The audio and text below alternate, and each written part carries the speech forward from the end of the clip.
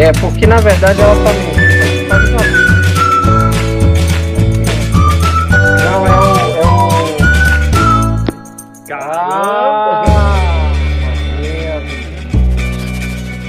Ah, Ave Maria, hein? Até que enfim, meu filho. Apareceu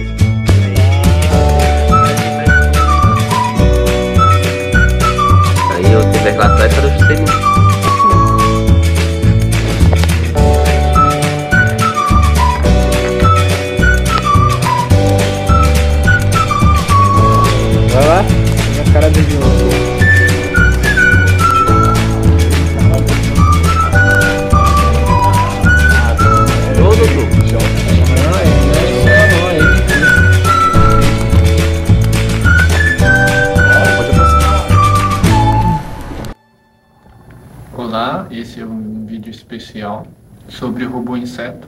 Meu nome é Wittenberg e ao meu lado, João. Nós cursamos em engenharia elétrica e gostaríamos de mostrar um pouco do nosso trabalho.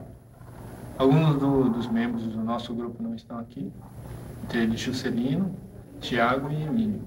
Não puderam vir. Aqui ao nosso lado, em funcionamento, nosso robô. Ele dispõe de uma câmera e um transmissor de vídeo. Esse transmissor faz, faz a- o envio de imagens via VHF. Bem, como vocês podem ver aí, a, por favor, filma aqui. É, a câmera que está aqui na parte frontal, pode filmar aqui, por favor. Ela faz a captura da imagem, claro, do áudio e vídeo. E acima, vocês podem observar o circuito de radiofrequência. Nesse circuito, é, nós temos alguns ajustes de bobinas aqui, onde ela faz toda a conversão, a soma do áudio e vídeo vindo da câmera e propaga via radiofrequência, através de antenas que ficam aqui na frente do nosso robô, tá? Então, com isso, lá na televisão, vocês podem observar a imagem fixa, é justamente tudo aquilo que a câmera, câmera capta, tá? Então, ou seja, o nosso intuito é o quê? De até um alcance de 100 metros, a gente poder filmar tudo que esteja aí a um ângulo de 40 até não, os 60 graus aí, é, linha reta, de frente com o nosso robô nosso robô inseto.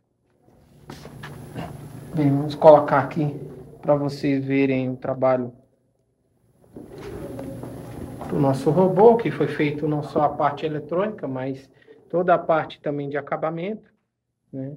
Para ficar um trabalho mais homogêneo, uma coisa mais apresentável também, tanto funcionalmente como visualmente. A bateria está do certo.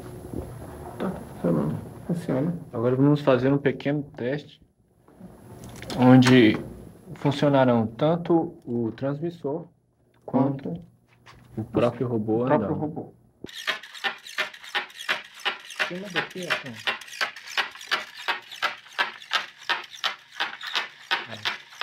Faz a explicação. Bem, aqui, ó, são ambos o transmissor e o motor funcionando, dois servos. Então, vocês podem observar aqui embaixo, tá? Que nós temos dois servos motores, um para locomoção das quatro patas laterais, né? E um para movimentação das patas centrais, tá? Tanto de subida como de descida. Então, nesse sincronismo, ele consegue fazer aí um caminhar.